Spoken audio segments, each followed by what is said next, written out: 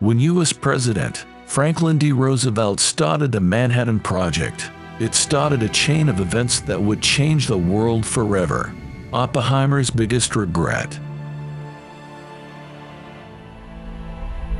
The birth of the atomic bomb.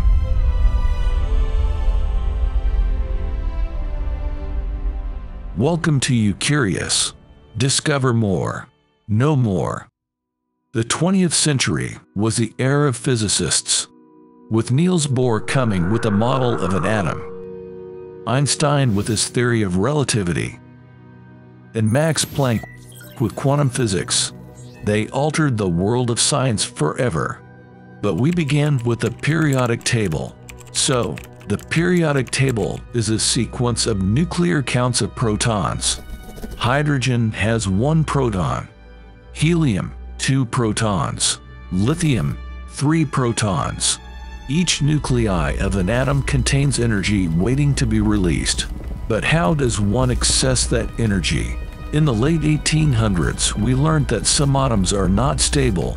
For example, a version of uranium is unstable because it has 92 protons in the nucleus, but has a different number of neutrons.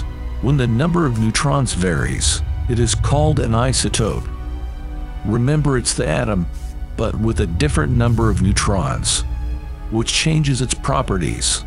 So, the unstable version of uranium spontaneously breaks into two atoms, leading to release of energy. That's called radioactivity. When an element is radioactive, it is splitting on its own and releasing energy. While energy is good, it also becomes hot and releases tremendous heat. This splitting of an atom is called fission. Moving to the other end of the periodic table, we have hydrogen, which cannot be broken as it has only one proton. But if you can combine the elements together to form a heavier element, when this is done, the mass of the heavier element is less than the sum of the parts. Now hold your horses. Where did the mass go? We fall back to Albert Einstein.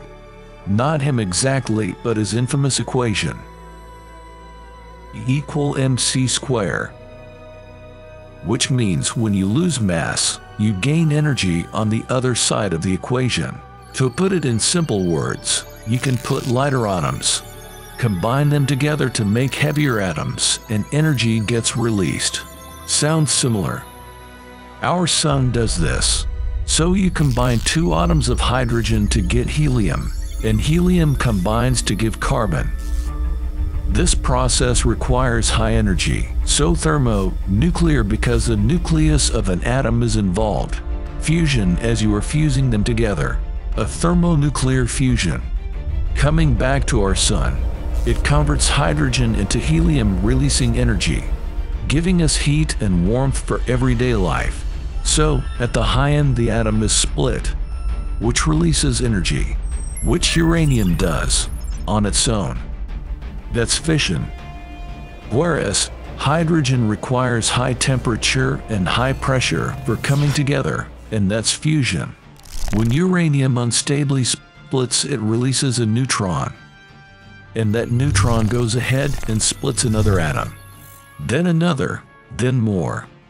Going 1, then 2, 4, then 8, and then 16, leading to an out-of-control chain reaction. That's what an atomic bomb is. It contains an isotope of purifying uranium, crammed together to initiate a reaction using a trigger, causing a tremendous release of energy instantaneously. Disturbingly amazing, isn't it? What are your thoughts?